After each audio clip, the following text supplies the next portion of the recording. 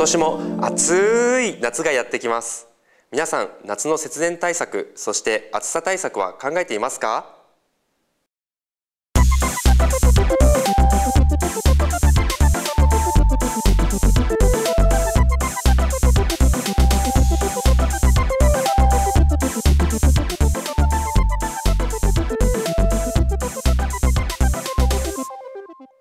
妙高ニュースの時間です。レッツ節電マイナス15%我が家の約束。こちらの一覧表家庭に貼ってありますか？これは6月6日の文書配布日に地方妙高と一緒に市内全戸にお配りしたものです。この一覧表にはエアコンや冷蔵庫テレビなど家電製品の消費電力を節約するヒントが掲載されています。東日本大震災の影響で電力が不足している今。大きな電力が必要となる夏を停電を引き起こすことなく乗り切っていくために一覧表を参考にして電気の節約をお願いします。例えばエアコン。室温の上昇を抑えてエアコンの使用を節約する方法に緑のカーテンをお勧めしています。緑のカーテンは朝顔やゴヤなどつる性の植物を窓辺に這わせ太陽の光を遮るというものです。市では朝顔、ゴーヤ、風船カズラの種を市役所、支所で無料で配布しています。ご希望の方はぜひご利用ください。緑のカーテンは二酸化炭素を吸収し地球温暖化防止の効果があります。皆さんからのご協力をお願いします。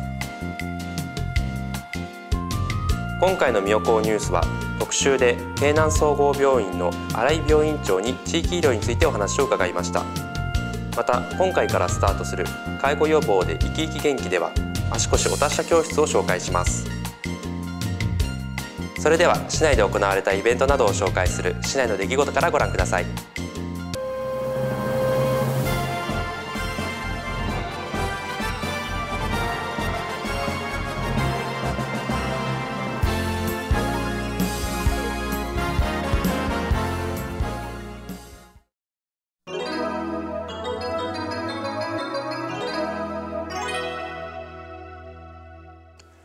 ここでは市内の出来事をお伝えします。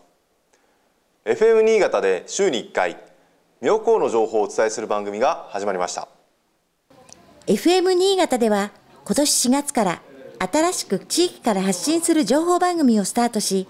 妙高市をはじめ五泉市村上市など県内の5地区にサテライトスタジオを設置しました。妙高サテライトスタジオは新井地区の旭町サンライム新井の1階に開設されました。また放送にあたって緊急雇用創出事業で番組制作パーソナリティリポーター兼アシスタントを採用しています。毎週木曜日お昼12時から生放送で三代港市の情報を県内に発信するネイチャーシティ三代港が6月2日スタートしました。ネイチャーシティ良子。6月2日木曜日時刻はお昼12時を回りました。いよいよ今日からスタートしました。ネイチャーシティ妙高今日初回放送なんですがサテライト放送ブース前たくさんの人がもういらしてくれてます。ありがとうございます。よろしくお願いします。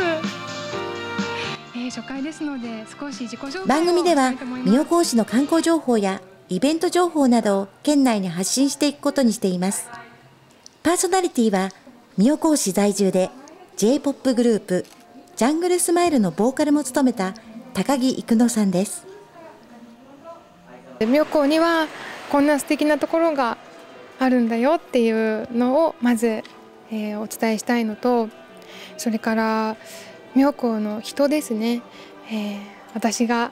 尊敬する素敵な人たちをゲストに迎えてお話できたらなとも思うしここに来れば元気が出る。そんな場所に、えーしたいです。またリポーターは上越市在住の相沢健二さんです。妙高の方も本当にアピールどんどんアピールしてもう県内県外からいろんな方があの観光なりいろんなことをしてしに来てくれるようなそういうまた気持ちになるようなあの放送にしていきたいなと思います。事務局長は広島直人さんです。何か感じさせたい。なんか放送終わった後にこのフレーズだけ印象残ったなとかなんか BGM にはしたくないなっていうのが個人的な思いなんです、はい、初日放送の様子を見ようと市民やファンが集まっていました。こういいとこですね今日朝5時に起きてきた甲斐がありました。いいところをやっぱり紹介してほしいですね。妙高市を発信していってほしいと思います。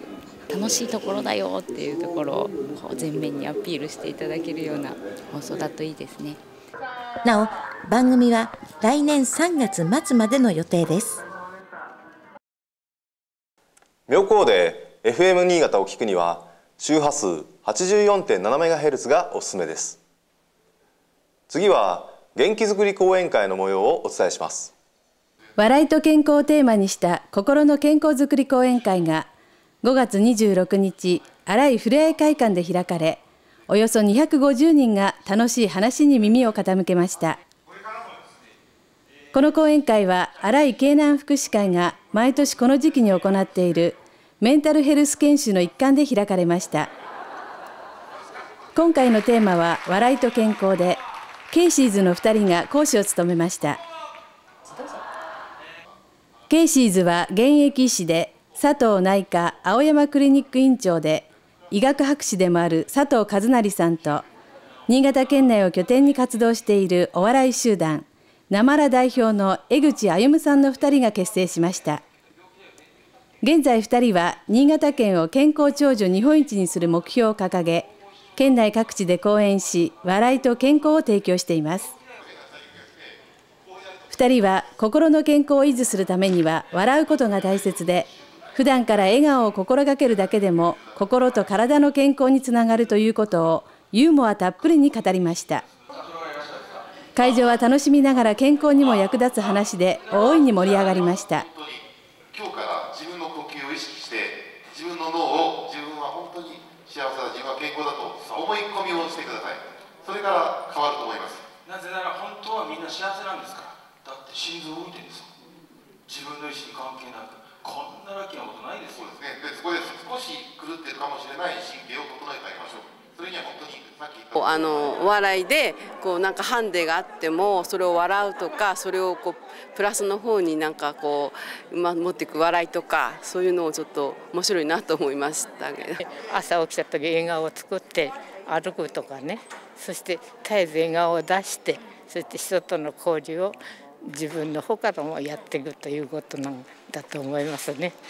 本当に今日はためになったと思います。とにかく明るいですね。あの表情も明るいし服装も明るいし上越もよく公園に来るんですけど上越の方も明るいけどまたさらに一歩明るいですね。10年前から笑うことによってあの免疫力が上がるとかいろんな病気が良くなるということが言われてたんですけどもそれが科学的根拠を持ってもう最近次々と証明されたので、まあ、それを私たちも新潟県初であの現役の医者と現役の笑いのプロが笑いと健康というコラボで、まあ、新潟県の健康長寿にしようということから始めました。新潟県の平均寿命をあの5つでも10でも上げたいなというふうに思っています。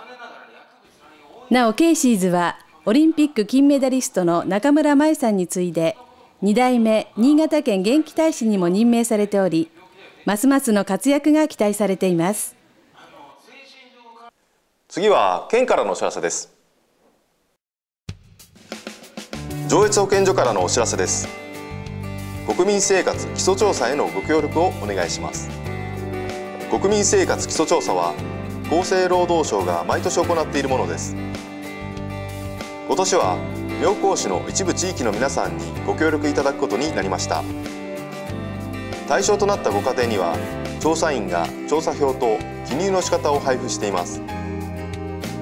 後日調査員が回収に伺いますので必要事項を記入してお渡しください。なお調査員は県知事が発行した調査員証を携帯しています。記入いただいた情報は固く守られます。皆様のご理解ご協力をお願いします。ご不明な点がありましたら上越保健所比較調整課までお問い合わせください。エコ標語の後は特集みんなで支える地域医療をお送りします。